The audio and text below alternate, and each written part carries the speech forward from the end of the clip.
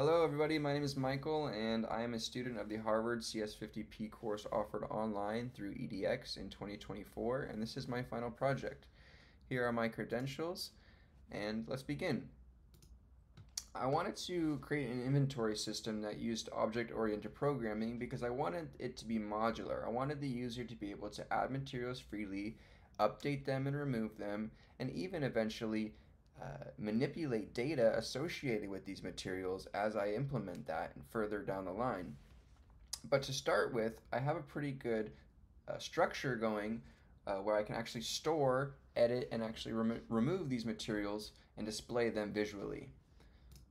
To run my program, let's go ahead and start and press 1 to open up the system.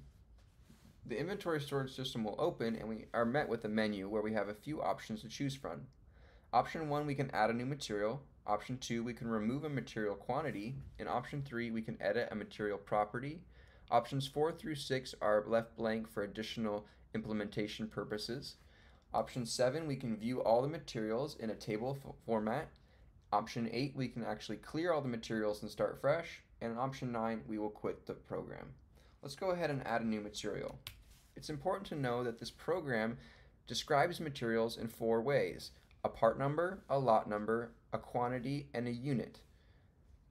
This is often a standard format for labeling materials in an inventory system. Let's give a part number of a basic 001. How about a lot number of just ABC? And a quantity, well we have 100, and how, what do we have? We have 100 liters, let's say. The material is added and updated to our inventory list, and we currently displays all the limit inventories in a table format. We can go ahead and add another material for another example. Let's go ahead and press 1 again. Let's go 002. This is XYZ. We have, let's say we have 50 of this one. And what do we have? We have grams. As you can see, we have two materials now displayed in our table.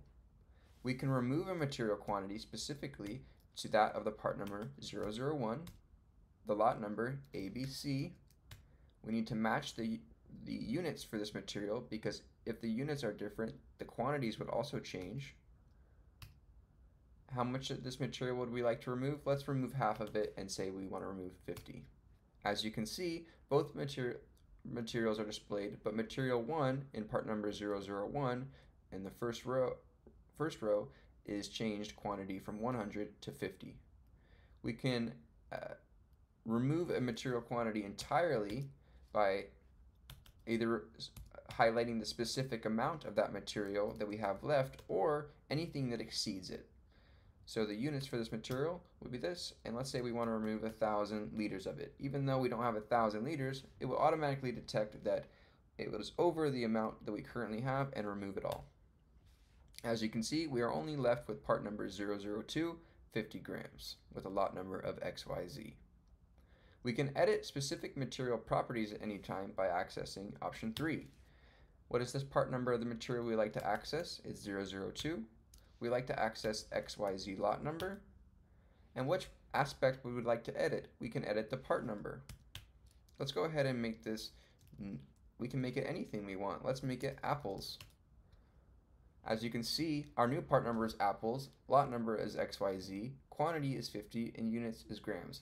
This is just an example of how modular the inventory system can be as long as things are labeled accordingly and similarly as you add more materials. But you can add something, for example, as apples, and you can have 50 of those, and units would just be a quantity of each or one apple. Uh, you can have any type of inventory you would like. At any time, we can press 7 to view the inventories in our list. It will automatically generate the table and display it to you. We can go ahead and clear all the materials by pressing 8 and all the material it will we will be reprompted with are you sure we would like to clear all materials just in case 8 was accidentally pressed. We'll press 1, go ahead and all materials have been cleared and just to be checked let's press 7 again to go ahead and double check. As you can see we have no materials to display and now we can go ahead and just quit our inventory system. This has been my project for Python CS50P. I have a lot of fun uh, implementing this and programming it. It's been really challenging, but I learned a ton from where I started. and I would like to further implement ways to make subclasses of materials, such as you know different types of fluids or um, you know solids, things of that nature, for a lack of better example, and give them specific attributes such as data that I can actually manipulate and do various functions with mathematical um, and both chemical. And, and thank you for watching.